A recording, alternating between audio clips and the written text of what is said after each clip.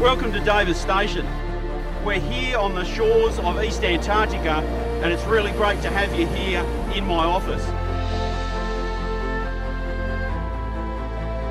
Here we are out at Magnetic Island. At the moment we just have to be a bit quiet because there are penguins coming past.